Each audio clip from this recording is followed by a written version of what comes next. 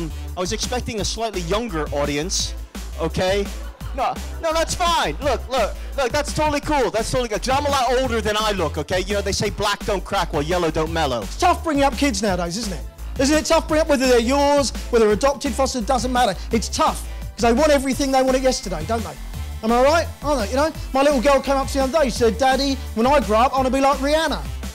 How can I prepare her for life as Rihanna?" So I gave her a little bit of and punched her in the face. But, uh,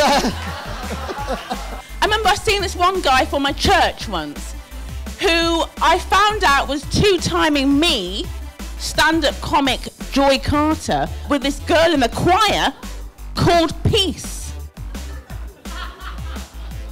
I said to him, Where does it say that in the Bible? He said, Is it not written? Ye shall go out with joy and be led forth with peace. Can't argue with the word of God. Truly wonderful. Comics were so funny and so wonderful. event like this, you have a laugh. It's about something serious. It's, it's all great we shared together. So, yeah, I was very glad I got the invitation. I've got two sisters, but I wasn't raised with my sisters. What happened was at the age of about 18 months, the social services came in and they took me away from my family. And the reason for this, unfortunately, it's very common in the ghetto. I was a crack baby. Okay, so there you go.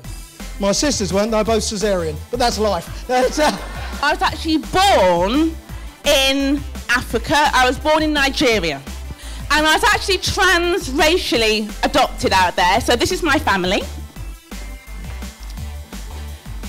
So you can see there, that's my family. Everyone have a look. There you go. So you can see there, um, I've got a white mum. That's Daphne Carter, not Madonna. And I've got a white dad. And you know what? We also had a white cat. That's a brilliant way of actually addressing really serious issues and having fun at the same time. I was telling my friend my whole adoption story. It took a couple of hours. She said, Joy, that is so deep. I went, mm. She went, when was the moment realised that you were adopted?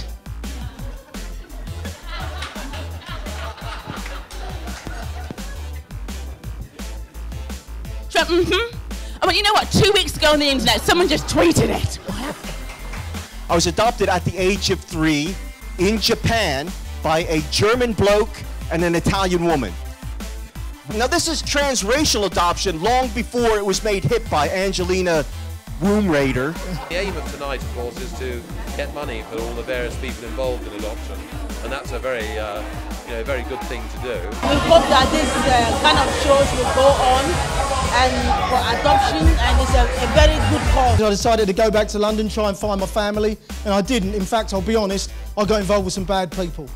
I got involved with a gang of bank robbers, and they employed me as their getaway driver, a job I was doing successfully up until a few months ago, when they sacked me from the gang for being dyslexic.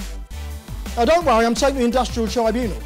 Because, no, the way I see it, if you've got a dyslexic getaway driver, don't hold up HSBC Bank for fuck's sake. Do you know what I mean?